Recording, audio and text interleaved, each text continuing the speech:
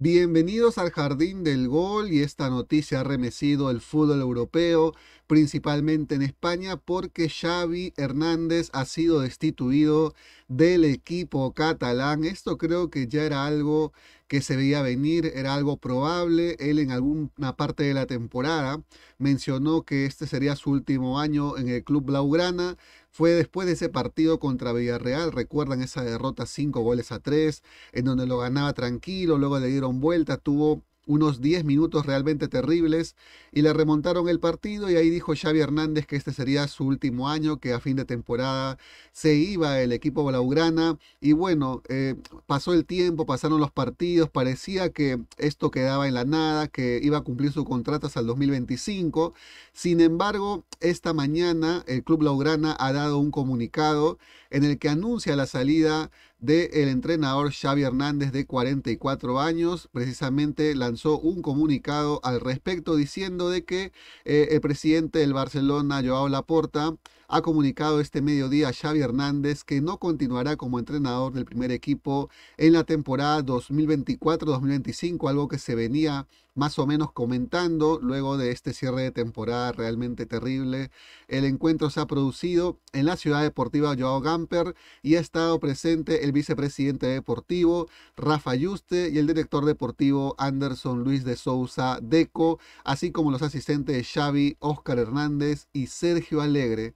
El Barcelona quiere agradecer a Xavi Hernández su labor como entrenador que se suma a una carrera inigualable como jugador y capitán del equipo y le desea toda la suerte del mundo al entrenador. Xavi Hernández dirigirá este domingo en Sevilla su último partido como técnico del primer equipo y en los próximos días el Barcelona informará sobre la nueva estructura del primer equipo, o sea, va a comunicar quién será el próximo entrenador. Por ahí se vocea que es Hansi Flick, entrenador alemán, que tiene un recuerdo terrible al Barcelona precisamente con este entrenador. Pero bueno, lo cierto es que este comunicado, esta carta del club catalán, eh, oficializa la salida de Xavi Hernández, algo que se venía ya, digamos, cocinando en el camino, no era un secreto, digamos, o no era algo que era difícil de predecir, así que se ha confirmado. Pero la campaña de Xavi, digamos que en esos tres años o casi tres temporadas, porque agarró al equipo prácticamente con la temporada en carrera en el año 2021, llegó en noviembre cuando comenzó mal con Koeman, vino precisamente a ser, eh, digamos, el, el, director técnico de esta nueva era del Barcelona, en la que invirtió mucho dinero, en la que muchos dicen que hipotecó al club por 100 años. Bueno, eso, esos son temas financieros. Lo cierto es que Xavi Hernández iba a ser la cabeza de este nuevo proyecto que tenía precisamente como objetivo principal volver a ser campeón de la Champions.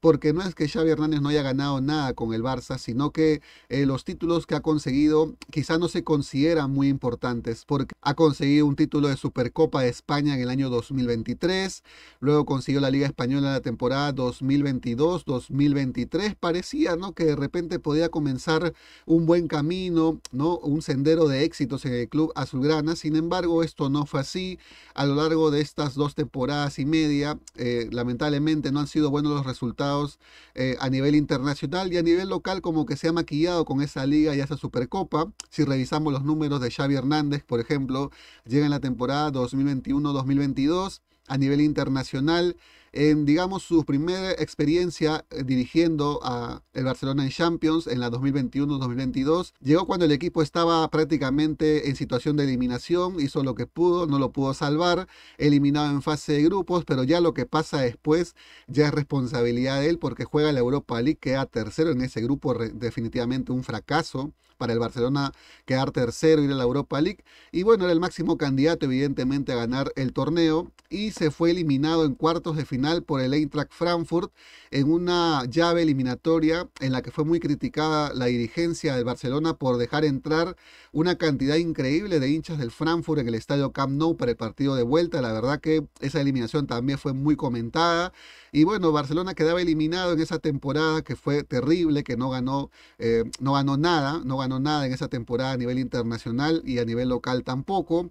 Luego en el 2022 en Champions volvió a quedar eliminado en fase de grupos, parecía una maldición esta para el equipo de Xavi, quedó eliminado en la fase de grupos, pasaron en su serie el Inter y el Bayern Múnich que precisamente lo despidió con una goleada 3 a 0 en Camp Nou y la última jornada de esa fase de grupos prácticamente la jugó solamente para cumplir con el calendario, le quedó nuevamente jugar por la UEFA Europa League de la temporada y quedó eliminado en el playoff en 16 de final contra el Manchester United. O sea, peor que la temporada anterior. Aquí lo que salvó a Xavi Hernández fue que campeonó en la Liga Española con una cantidad de fechas de anticipación interesante y además haber conseguido la Supercopa 2023.